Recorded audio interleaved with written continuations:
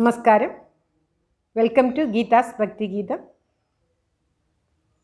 Daily one Gita ശ്ലോകം. ഗീതാസ് ഭക്തിഗീതം ദിവസവും ഒരു ഗീതാ ശ്ലോകത്തിലേക്ക് സ്വാഗതം. ഓം നമോ ഭഗവതി വാസുദേവായ ഓം ശ്രീകൃഷ്ണ പരമാത്മനേ നമ ഓം ഗീതാധ്യാനം पार्थाय प्रतिबोधितां भगवता। नारायणेन स्वयं व्यासेन घृदिता पुराणमुनिना मध्ये महाभारतम्। अद्वैतामृतवर्षिणीं भगवतीम् अष्टादशाध्यायिनीम् अम्ब त्वामनुसन्ददामि भगवल् गीते भगवद्देशिनीम्। ॐ श्रीज्ञानेश्वर्कम् കേശവപിള്ള അവർക്കും എന്റെ നമസ്കാരങ്ങൾ. ഗീതാ ശ്ലോകം. സാഖ്യയോഗം ആയ രണ്ടാം അധ്യായത്തിലെ പതിനാറാമത്തെ ശ്ലോകം.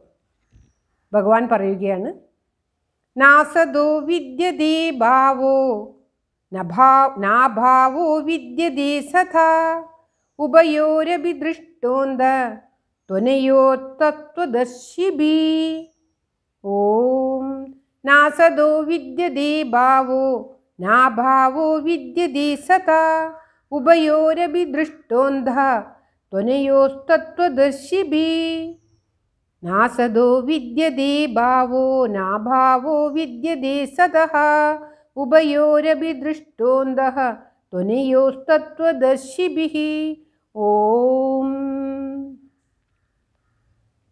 ഭഗവാൻ പറയുകയാണ് ഇല്ലാത്തതിന് ഒരിക്കലും അസ്തിത്വം ഉണ്ടാവുകയില്ല. ഉള്ളതാണെങ്കിൽ എപ്പോഴും ഭവിക്കുകയും ചെയ്യും. ഇല്ലാത്തത് ഒരിക്കലും ഉണ്ടായി വരികയില്ല. ഉള്ളത് ഒരിക്കലും ഇല്ലാതെ പോവുകയുമില്ല. ഇവ രണ്ടിന്റെയും യഥാർത്ഥം തത്വദർശികൾ ദർശിച്ചിട്ടുണ്ട്. നന്നായി ചിന്തിച്ച് അറിയുന്നവർ ഇത് മനസ്സിലാക്കിയിട്ടുണ്ട്. ഭഗവാൻ പറയുകയാണ് അർജുന ഞാൻ നിന്നോട് പറഞ്ഞു തരാം ചിന്തിക്കുന്നവർക്ക് മാത്രമേ അത് അറിയുകയുള്ളൂ. ഈ ലോകത്തിൽ സർവവ്യാപിയായി മറഞ്ഞിരിക്കുന്നത് ആത്മതത്വമാണ്. ആ ആത്മതത്വം മാത്രമേ യഥാർത്ഥമായിട്ട് ഉള്ളൂ. വെള്ളവും പാലും കൂടി കലർന്ന മിശ്രിതത്തിൽ നിന്നും സാധാരണക്കാർക്ക് പാലും വെള്ളവും വേർതിരിക്കാൻ പറ്റില്ല. എന്നാൽ ഒരു അരയന്നം വളരെ വിദഗ്ധമായി ആ ഇതിൽ നിന്നും വെള്ളം പാലും വേർതിരിച്ചെടുക്കുന്നു. അതേമാതിരി മൂശാരിമാർ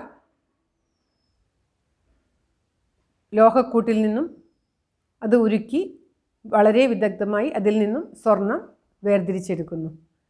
പാലും തൈരായി കഴിഞ്ഞാൽ തൈരിൽ നിന്നും വിദഗ്ധമായി കടഞ്ഞ് വെണ്ണയും വെണ്ണ ഉരുക്കി വെണ്ണയിൽ നിന്ന് നെയ്യും ഉണ്ടാക്കുന്നു.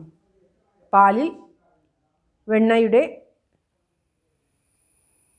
അംശങ്ങൾ മറഞ്ഞിരിക്കുന്നത് കൊണ്ട് മാത്രമാണ് നമുക്ക് ആ പാലിൽ നിന്നും വെണ്ണയെ വേർതിരിച്ചെടുക്കാൻ സാധിക്കുന്നത്. ഇല്ലെങ്കിൽ ഒരിക്കലും പാലിൽ നിന്നും വെണ്ണ ലഭിക്കുകയില്ല. പാൽ തൈരാക്കി തൈരിൽ നിന്നും വെണ്ണ എടുക്കാൻ അത് അതിൽ ഉള്ളത് അടങ്ങിയിരിക്കുന്നത് കൊണ്ട് മാത്രമാണ് സാധിക്കുന്നത്. അതുമാതിരി ഈ ലോകത്ത് നാം യഥാർത്ഥമായി കാണുന്നത് എല്ലാം യഥാർത്ഥമായിരിക്കണമെന്നില്ല. എന്നാൽ കാണാത്തത് കൊണ്ട് അത് ഇല്ലാതിരിക്കുന്നതുമില്ല. നമ്മുടെ കണ്ണുകൾക്ക് പ്രത്യക്ഷമായി മനസ്സിലാകുന്നില്ല എന്ന് മാത്രമാണ്. ഈ ഗീതാശ്ലോകത്തിന്റെ അർത്ഥം മനസ്സിലായി കാണുമെന്ന് കരുതുന്നു. ഗീത മാഹാത്മ്യം. എത്ര ഗീതാ വിചാരശ്ച പഠനം പാഠനം ശ്രുതം തത്രാഹം നിശ്ചിതം പൃഥ്വി നിവസാമി സദൈവ ഹി ഓം. നാളെ വീണ്ടും ഒരു ഭഗവത്ഗീത ശ്ലോകവുമായി നാം കണ്ടുമുട്ടുന്നതുവരെ എല്ലാവർക്കും എല്ലാവിധ ആയുരാരോഗ്യ സൗഖ്യങ്ങളും നേർന്നുകൊണ്ട് Geeta Rajan. Thank you. Thank you for watching. All the best.